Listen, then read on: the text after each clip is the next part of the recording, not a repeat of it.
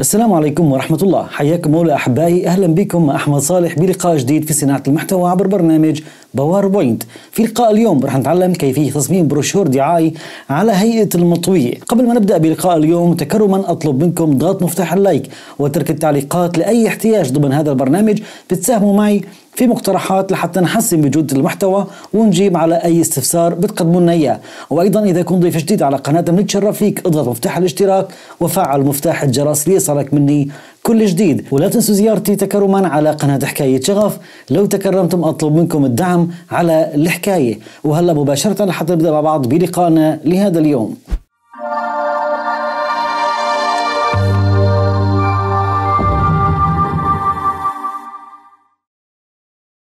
أهلا بكم أحبائي مرة ثانية في برنامج ال PowerPoint. بعد ما قمنا بإنشاء شريحة فارغة. راح توجه أول شيء إلى قائمة عرض ونفعل المسطرة. راح ننظر فقط على مدرجات المسطرة. راح نشوف على اليمين في عندي 17 درجة وعلى اليسار 17 درجة.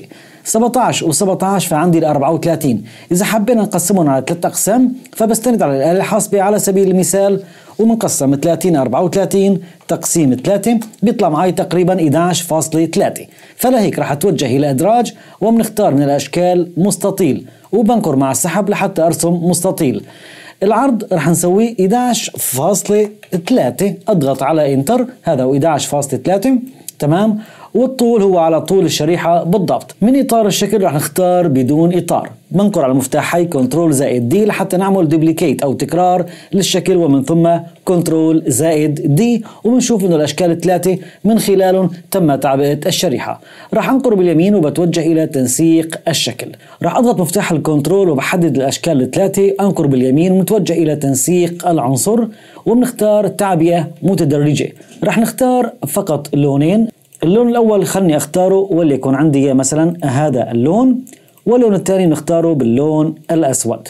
راح نختار الاتجاه يمين إلى يسار أو نختار مثلا اليسار إلى يمين لحتى يكون الأسود عندي باليسار. الآن راح يكون معي النظام أو الإيحاء أنه هو عبارة عن مطويات مثل ما أنا شايفين يا أصدقائي بالضبط. الآن راح توجه إلى أدراج ومن أشكال راح نختار هذا الشكل. عبارة عن مخطط انسيابي مثل ما أنا شايفين بهذا الشكل.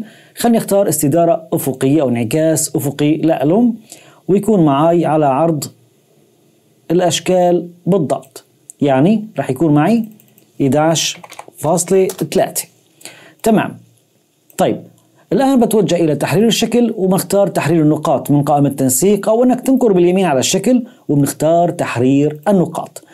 النقطة يلي هون راح انكر عليها وبختار الساعد هذا الساعد بجي على النقطة وبنكر مع السحب لحتى نعمل هذا الانحناء. والنقطة المقابلة نفس المبدأ راح نعلي الانحناء شوي لحتى نحصل الآن على هذا الشكل بالضبط. راح نختار له أيضا بدون إطار للشكل للرسم والتعبئة بنختار تعبئة متدرجة. راح يكون عندي أربعة ألوان. خلني أختار اللون الأول يكون عندي هذا اللون. اللون الثاني نختار اللون أكشف الثالث بنختار الدرجة الأغمق والأخيرة بنختار الدرجة الأكثر يعني كثافة لونية من نفس العائلة. تمام يا أصدقائي؟ حتى نحصل على تدرج الذهبي مثل ما أنا شايفين بالضبط. بختار منه كنترول زائد دي يعني دبليكيت تمام؟ تكرار للشكل. وبنختار نفس التنسيق اللوني للمستطيلات. فمن الشريط الرئيسي. ننقر على نسخ التنسيق. ومنطبقها الآن على هذا الشكل. لكن التدرجات صارت عندي بالعكس فقط أني راح أغير ميزان الألوان من يمين يسار إلى يسار يمين. تمام يا أصدقائي؟ وبنسحب على هذا الشكل بالضبط وراح نقلل الارتفاع. تمام؟ لحتى نحصل الآن على هذا التدرج. راح أحدد الشكلين مع بعضهم البعض وبختار control زائد G خلينا نسحبها على الجزء اليميني من الشريحة. وبختار control زائد D وبنعمل لها من قائمة تنسيق استدارة أفقية أو انعكاس أفقي ومطابق الأشكال معنا بهذا الموضع. وأيضا control زائد D وبنسحبها للأسفل. تمام؟ ليكونوا عندنا مطابقات الآن بهذا الشكل. راح أنقر وأسحب للأعلى. تمام؟ لحتى نحن نقلص من الارتفاع ويكون معنا على قدر مساحة الشريحة ما يكون في عندي أي جزء خارج الشريحة. بيكون حصلت الآن على التصميم الكادر أو التصميم العام البروشور يلي نحن قائمين الآن على تصميمه. رح ننقر على الجزء اليميني أو الشكل الأول اللي نحن شايفينه وبتوجه إلى تعبئة بصورة. وبننقر على إدراج صور من هذا الملف أو صور من جهاز الكمبيوتر أو صور عبر الإنترنت. وبيكون أنت محدد الصورة اللي أنت محتاجها وننقر على مفتاح الإدراج لحتى نعبي الصورة. بإمكانك من قائمة التنسيق ومن اختصاص تختار ملء وتحدد الجزء اللي أنت محتاجه من الصورة. يعني أنت أي جزء محتاج تظهره من الصورة فيك تختاره. وليكن على سبيل المثال خلني أختار أنا هذا الحيز من الصورة وبنقر أي نقرة خارجية لحتى يتم اقتطاع الجزء اللي أنا محتاجه من الصورة. الآن راح نضيف آه، نص أو العنوان اللي أنت محتاج لبروشورك بتضيفه بهذا المكان. خلني أختار نص وليكن عندي أنا مجهز بعض النصوص لحتى ما أطيل عليكم بهذا اللقاء أو بالفيديو. تمام؟ والآن من قائمة التنسيق بنختار لون النص وليكن معي هذا اللون. وخلني أختار بولد آه، ونكبر أو توسيط ونكبر حجم الخط شوي. تمام؟ كعنوان للبروشور يكون معي مثلا بهذا المكان. إذا حبيت يكون في عندك وصف فخلني أختار مثلا. نحن أنا مجهز والله نصوص افتراضية لحتى ما أطيل كثير باللقاء. ومن قائمة التنسيق بنختار أيضا من اللون اختار اللون الثاني وليكن عندي هذا اللون. ونصغر حجم الخط وليكن فقط هو عبارة عن وصف. للعنوان ويكون معي مثلا بهذا الشكل.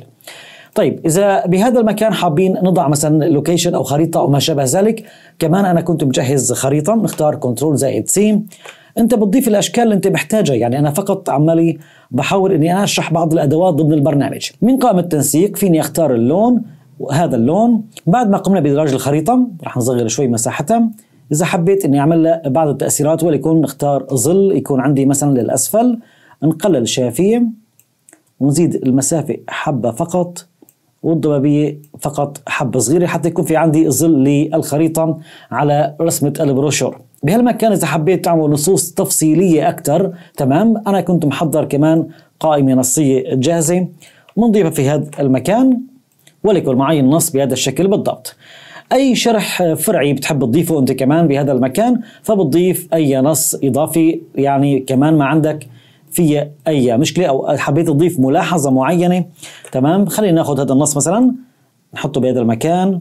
يعني إذا كان في عندك بعض الملاحظات بتحب تضيفها بهذا المكان خليني أختار مثلا يكون عندي بهذا الشكل. أصدقائي رح نتوجه إلى أدراج وبنختار مربع نص. رح نرسم مربع نص هون. طبعا والمشيرة هي بداخل مربع نص الآن. برجع بتوجه إلى أدراج مرة ثانية وبنختار رمز. في عندي خط هون اسمه ال Wingdings. خلينا ندور عليه. ال Wingdings هذا هو. تمام. راح ندور على إشارات الخاصة بالتنصيص هدول عندي الإشارات. تمام. هدول الإشارات الأولى أختار إدراج والثانية أيضا إدراج وبعطي إغلاق مرة ثانية. خلينا نكبر حجم الخط مشان يكون الموضوع واضح معنا وبنختار اللون. تمام. راح أختار control زائد X أقص الأولى. تمام. خليني أحط الأولى مثلا كنا عندي إياها هون وبختار الألأ لهذا المربع. طبعا Control زائد D يعني duplicate وبغير المشيرة أو بغير إلى النمط الثاني من إشارة الملاحظات ونحط الثانية عندي مثلا بهذا الموضع الآن في الجزء الأخير لصفحتنا أو البروشور أو التصميم اللي نحن بنشتغل عليه هي صفحة التواصل. فخلني أتوجه إلى أدراج وبنختار مربع نص وبنكتب اتصل بنا ونختار توسيط أختار اللون ونعمل بولد ونكبر حجم الخط شوي. تمام؟ ونوضع الآن النص بهذا المكان على سبيل المثال. راح أتوجه إلى أدراج ومن أشكال أخذ الشكل البيضاوي أضغط مفتاح الشيفت وأنقر مع السحب لحتى نرسم الدائرة تكون معي بمنتصف الشكل.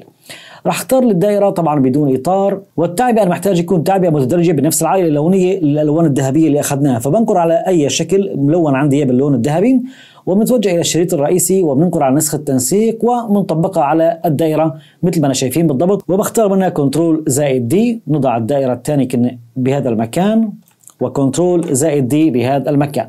الآن راح نتوجه ونختار الأيقونات اللي نحن بنكون مجهزينهم. Control زائد C و Control زائد V خلي تكون الأيقونة الأولى عندي إياها هون وهيدي الأيقونة المعبرة عن الموقع كنا هون وأيقونة التواصل عبر الإيميل كنا هون. أحدد ثلاث أيقونات أضغط مفتاح الشيفت وخلنا نصغر آه، مساحتهم شوي لحتى الموضوع يكون مناسب بهذا الشكل بالضبط. الآن إذا في عندك أرقام هواتف بإمكانك تضيف أرقام الهواتف بهذا المكان وليكن على سبيل المثال اكتب أي أرقام عشوائية تمام؟ أي أرقام بصراحة هي أرقام عشوائية للترجيب فقط لا غير. تمام؟ وبنختار هذا اللون وبنعمل بولد وبنختار ظل لألون. تمام. إذا كان في عندك أيضا إيميلات للتواصل أو المراسلة خلني أختار أي إيميل وليكن على سبيل المثال عندي هذا الإيميل. بالنسبة لموضوع الموقع رح نكتب مثلا المدينة. وتضيف عندك الشارع والعنوان والمنطقة اللي أنت فيها يعني وتكتب العنوان بشكل كامل يعني تمام؟ باسم بتفصيل بهذا المكان. الآن أيضا بالأخير إذا حبيت تضيف فقط ملاحظات أخيرة رح نختار النص نحن هذا مثل ما هو كنترول زائد دي ورح ناخذ النص عندي اياه بهذا المكان يا أصدقائي. الآن خليني أتوجه إلى أدراج ونختار من أشكال وليكن عندي على سبيل المثال وبنختار هذا الشكل مثلا. خلينا نعمل التفاف له بهذا الشكل. تمام؟ نضع المستطيل بهذا المكان. الآن بختار نفس التدرجات طبعا للأشكال نسخ التنسيق ومطبق عليه تماما. بسحب الأخير طبعا وراح أختار اللوجو. كون اللوجو عندي آه، طولي فراح نختار أو اخترنا الشكل بهذا آه، بشكل طولي. اخترنا مستطيل يكون بشكل طولي. حسب الآن مساحة اللوجو يلي عندك أنت فيك تختار هذا المستطيل. الآن من تنسيق الألوان راح نغير اللون. وليكن معي مثلا هذا اللون مناسب جدا لتصميمنا. الآن من قائمة ملف رح نتوجه إلى حفظ باسم أنقر على استعراض وبنحدد مكان لحفظ الملفات وبنسميه. الاسم بروشور وليكن اي أي عنوان أنت للصورة محتاج تحفظها فيه. ومن النوع بنختار ال JPEG وأنقر على حفظ ومن ثم حفظ هذه الشريحة. فقط. الآن إحنا توجهنا سطح المكتب وشغلنا الملف راح يكون عندي البروشور بهيدي الجمالية. أتمنى إن شاء الله أكون بهذا اللقاء قدمت لحضراتكم الشيء الجميل والنافع واللائق فيكم تكرما. لا تنسوني من التفاعل والدعم وألقاكم على خير ودمتم برعاية الله والسلام عليكم ورحمة الله.